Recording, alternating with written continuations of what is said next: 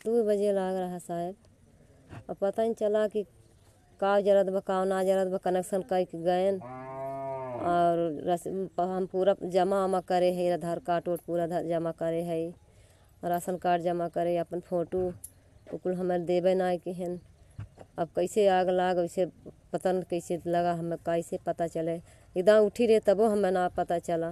तो बिजली से ही आग लगा है।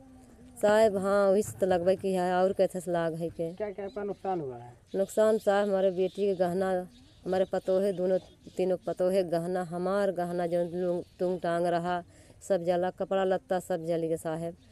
लड़कन बच्चन के एक कपड़ा ना हमार सबके बच्चा जौन हुए पहने ही तो हमारे बास शरीर पे और एक को बा ना साहब। लगभग कितने का नुकसान हुआ होगा आपका? कितना बताए लड़कन के बिटिया तमार गहना जान लाख लाख रुपया गहना रहा बिटिया के हमारे पतोहियन का रहा द- दस बीस हज़ार का उन्ने का रहा। हमार चार छः हज़ार दस हज़ार का रहा साहब। पैसों रखे रहे बिटिया के पैसा बिहान शिमला जाए वाली रहीन आग लगने के बाद आपके यहाँ कोई बिजली विभाग का अधिकारी या कर्मचारी आया? अभी तक तो साहब क्यों ना आए? क्या नाम आपका? विद्या। हमको जानकारी है सर जी आ, बिजली से आग लगी और नरेंद्र यादव ने हम पहले आहूर्जा चलाते थे। हैं, हमारे पास आहूर्जा था। उन्होंने कहा, क्या नाम है? एडीएम जी की आदेश है।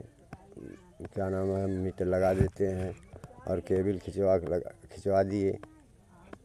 और कल का त्यौहार था, बारह एक बजे तक तो ऐसे और तो लोग अपना कार्यक्रम कर रहे थे।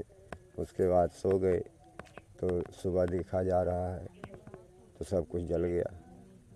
तो क्या जब बिजली विभाग के ठेकेदार द्वारा आपके यहाँ मीटर लगाया गया तो मीटर चालू था कि नहीं था तब से? नहीं नहीं चालू था। कितने दिन हुआ उनको लगाए पंद्रह बीस पच्चीस दिन हुआ। आपको कोई रसीद वगैरह नहीं दी गई हमको कनेक्शन है? नहीं कनेक्शन हमारा रसीद ले गए हमारे प्रूफ ले गए। हमारा आधार कार्ड ले गए टू कापी ले गए और हमको दिए नहीं।